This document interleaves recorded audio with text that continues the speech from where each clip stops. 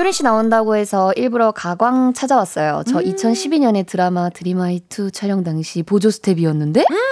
효린 씨 덕에 분위기도 좋았고 음. 저희 스탭들에게도 얼마나 인사를 잘해주시던지 항상 고맙고 응원하고 있었어요. 우와! 어머 신기해라. 이런 목격담이 또 올랐네요. 우와! 아 이때 제가 제가 연기를 잘 모르고 아. 이렇게 드림아이 2라는 촬영을 하게 됐는데 네. 너무 그 촬영 환경이 너무 신기하고 그렇죠. 처음 접해보고 저는 늘 이제 무대만 했었으니까 아. 그래서 정말 많으신 분들이 이 작품을 하나 위해서 너무 많은 분들이 모여갖고 다 같이 맞아. 고생을 해주시는데 제가 성격이 또 어, 뭐, 안녕하세요 안녕하세요 이런 스타일이 아니니까 아. 뭐 혼자 신나가지고 거기서 혼자 막 감독님들한테도 엄청 크게 인사하고 아. 막 뛰어다니고 오히려 힘이 돼 주셨네. 그런 분들 한 명 때문에 분위기가 달라지거든요. 그리고 되게 효린 씨가 엔돌핀이었던 것 같아요. 아, 그리고 그 다행입니다. 그 코빅에 게스트로 와주셨잖아요. 또 먼발치에서 보면서 내가 뭘 느꼈냐면 효린 씨랑 같이 있는 그 스탭들 있잖아요. 다 표정이 너무 좋아.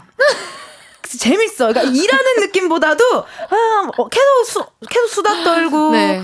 그걸 보고 느꼈어. 아, 진짜 좋은 사람이구나. 아유, 아유. 그러니까 이제 같이 일해도 사람 다 기분이 좋은 거예요. 맞아요. 저는 제가 사실 제일 중요하게 생각하는 부분들 중에 또 하나인 게 제 스케줄을 나왔을 때는 재밌고 행복했으면 좋겠어요. 맞아. 저랑 같이 그러니까 저를 위해서 지금 나와서 같이 일해 주시는 분들이 같이 기분 좋게 하는 게 너무 중요한 것 같아요. 모두에게. 맞아. 그래서 예. 네. 아 근데 진짜 너무 반갑네요. 진짜. 이 다은 님께 님께서도 효린 언니 너무 좋아요. 아르바이트 할 때 손님으로 오셨는데 사인해 주시면서 힘들지 않냐 고 힘내라며 안아주고 가셨어요. 그리고 실물 진짜 예쁘시고 너무 마르셔가지고 살 좀 찌셨으면 좋겠어요. 너무 sweet하다. 안아줘. 아니 어떤 알 어떤 아니 안아준 게 난 너무 sweet하다. 아니 제가 이런 질문 받은 적 있는데 너는 왜 그렇게 사람을 안아주니?라고 생각해 보니까 챌린지 끝나고 나 안아줬어. 이게 저는 포옹이 미국식 인사. American style. American style. Hot girl. Korean이. Hot girl 느낌. 왜 이렇게 목격담이 많으세요?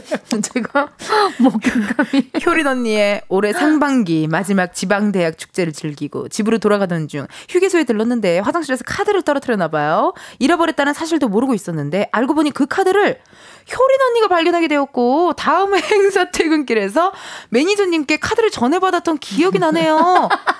아니 힘내라고 안아줘. 촬영하는 스탭들에게 인사 잘하면서 춤추고 엔돌핀이야. 이번엔 카드까지 찾아준 정말 보안관까지. 바빠 바빠. 바쁘다 바빠 현대 사회. 정말 지금 신곡도 나왔고 지금 이게 사랑이지 뭐야 고 진짜. 아 좋습니다.